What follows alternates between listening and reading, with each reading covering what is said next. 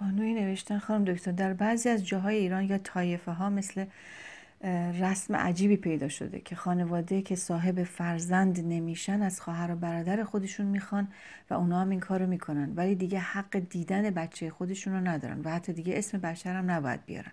منم یکی از این اشخاص بودم. از همه جا بیخبر و تا به غیر خودم کسی در فامیل یا شهرم این کارو نکرده بود. بنده سی سالم بود دختری داشتم چهار ساله خواهر شوهرم پنجاه سالش بود. با التماس و استار از خود من بدون اطلاع شوهرم خواست براش بچه بیارم و در, در کنار هم و با هم بزرگش کنیم.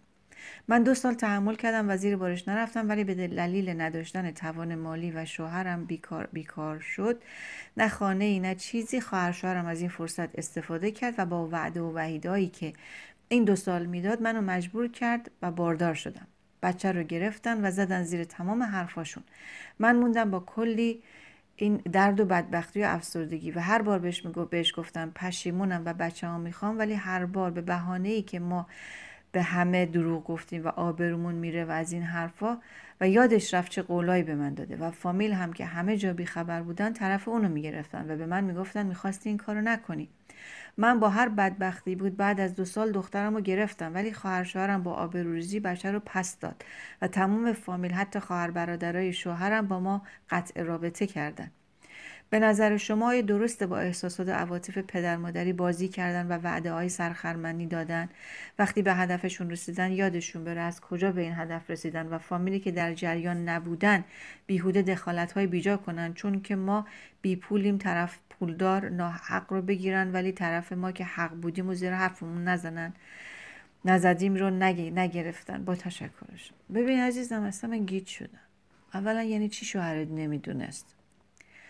از, از شوهرت حامله شدی دیگه. به نظر میاد از خود شوهرت حامله شدی.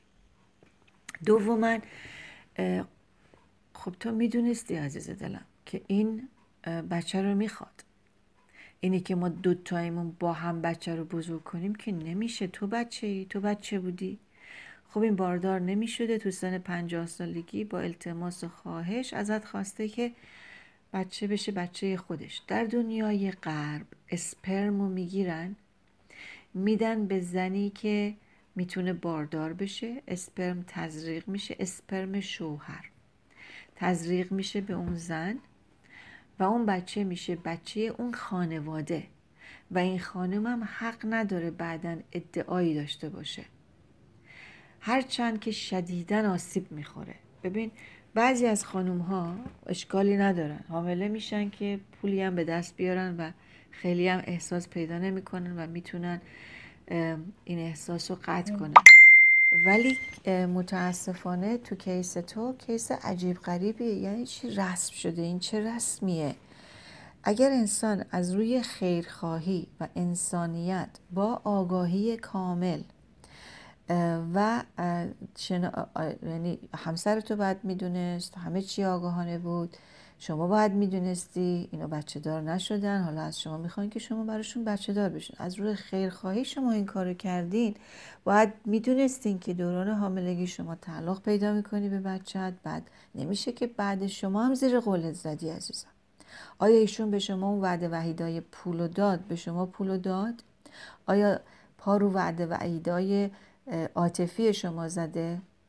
چون به شما گفته با هم بچه رو بزرگ می‌کنیم. یعنی چی با هم بزرگ می‌کنیم؟ نمیشه که این بچه نصفش کنیم نصفش خونه شما نصفش خونه من. آخه خود شما هم یه خورده فکر کن عزیزم. فکر کن ببین چرا هم دست به همچین کاری زدی. شما فکر نکردی یه کاری رو انجام دادی که دو تا خانواده رو کل خانواده رو به هم و دو سال این بچه با, ام با این امه خودش فکر می‌کرده مادرشه شوهر امه فکر می‌کرده باباشه.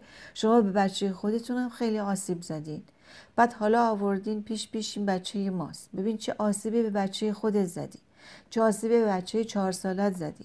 چه آسیبی به شوهر زدی. چه آسیبی به اون زن و شوهری که اصلا بچه نداشتن زدی. به خود دقت کن عزیزم. یه طرفه نرو به قاضی. اشتباه بزرگت این بود که پذیرفتی و بعد میستادی رو حرفت. تو قول دادی. قول دادی که این بچه رو بدی. اینه که ما با هم بزرگ می‌کنیم. منظورش این بوده که میای دائما بچه رو می‌بینی ولی بعدش حق دیدن بچه رو نوشته ازت گرفتن. خب برای اینکه حال روز تو به هم ریخت. تو تو همون دوران حاملگی شاید پشیمون شدی. خب اینا فهمیدن که ای داده بیداد تو می‌خوای بچه رو هی دقیقه یه دفعه بیای بگی بچه رو اینجوری نکنین اونجوری نکنین. یعنی هی می‌خوای مادری کنی اینا هم حق مادری حق دیدنشو گرفتن. ترسیدن ازت. ترسشون هم درست بود. برای آخرم گرفتی. یا یه کاری رو نمی کنیم یا یه قولی رو نمیدیم یا اگر دادیم بعد رو قولمون بیستیم کار غلط بود از اولش غلط بود. این بچه اسپرم اون شوهر امه که نیست. اسپرم پسر همسر خود شماست.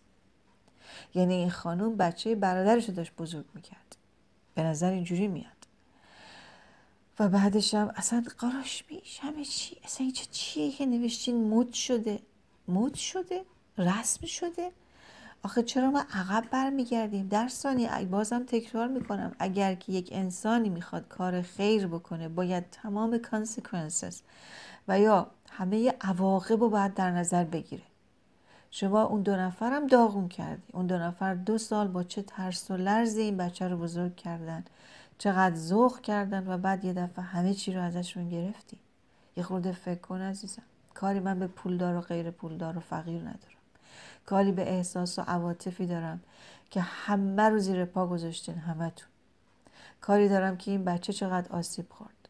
کار دارم به بچت کار دارم به خودت و شوهرت و اون امه و شوهر همه که هیچ وقت که بچه نداشتن ببین چی شد. ببین چی واقعا چه آبرو ریزی شد. اصلا واقعا متاسفم. همتون تقصیر داشتین. اصلا خودتو مق... طوری نوشتی که انگار تمام تقصیرها سر اونا بود و تو مظلومی. نه عزیزم. تو هم قول دادی. تو هم زیر قولت زدی. همتون مقصر بودین امیدوارم از این کارا دیگه هیچ کس نکنن.